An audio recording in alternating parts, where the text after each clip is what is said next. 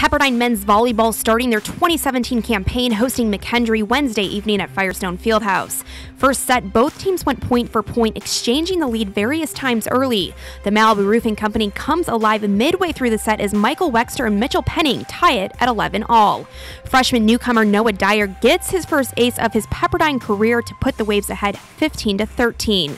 Down the stretch, the Waves would pull ahead with another big block from Penning and Dyer, followed by a Max States ace.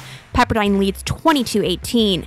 However, McKendree would make a 6 0 comeback late and take set one from a Wilcox kill 25 23. Second set starting similar, Alex Harthaler with a big block in this play to tie it early 3 3. McKendree would pull away to take an 8 4 lead, though, starting set two strong. Josh Stewart makes the save here as Penning puts it away. The Waves still trail 11 8. McKendree continues to dominate the rest of the way to take a set two victory, 25 18. Set three, Waves trying to regroup to force a fourth set.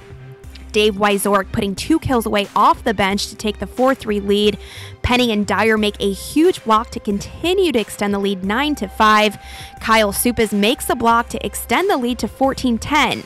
Dyer and Supas make a late block to extend the lead again by 6 18 12.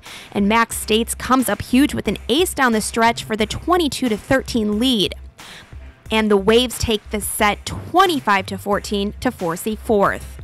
Fourth set, Supas and Dyer with the block to take the 3 1 lead. Bearcats answer right back later on with their own block, but still trail 12 9. Midway through the set, Penning makes it a 17 12 game. Dyer with a smash hit to make it 23 18. Supas puts the kill away to take the set 25 to 12 on to the fifth.